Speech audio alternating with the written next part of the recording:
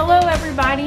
My name is Catherine Wright. I'm the Family Life Pastor at First Christian Church of McKinney, just outside of Dallas. And I'm so excited to connect with some of our JYF friends here on CCSW Adventures. Today, we're going to talk about covenant and staying connected to Christ through communion. And I'm in my church's children's library for us to read our scripture, and I invite you to find your Bible and to join me in reading this scripture. Our scripture reading comes from 1 Corinthians chapter 11 verses 23b through 26. And listen up because it might sound familiar to you. The Lord Jesus, on the night he was betrayed, took a loaf of bread, and when he had given thanks, he broke it and said, This is my body that is for you. Do this in remembrance of me. In the same way, he took the cup after supper, saying, This cup is the new covenant in my blood. Do this as often as you drink it in remembrance of me. For as often as you eat of this bread and drink of the cup, you proclaim the Lord's death until he comes. Now, I said that I was going to talk about covenant. And you might be wondering, what is a covenant? Well, a covenant is a promise between other people, between two people, between you and God, to agree to each other, to trust each other, and to love each other.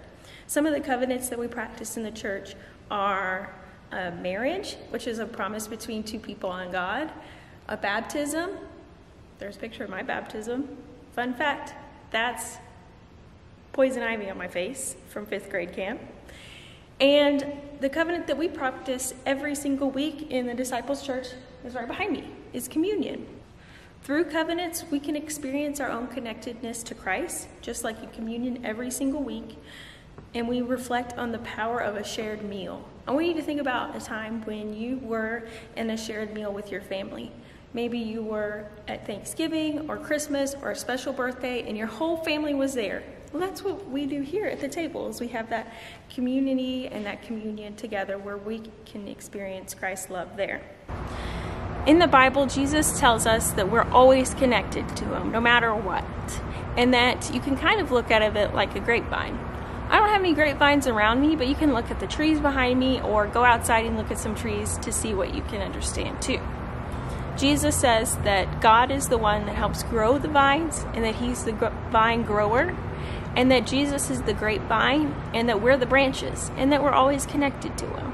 And what happens at the end of the branches? Fruit grows, grapes, the sweet little purple or green things that we like to eat all the time. And the fruit is the good deeds that happen when we're really connected to God, like showing each other's God's love, sharing the good news, and always being connected to God through covenant.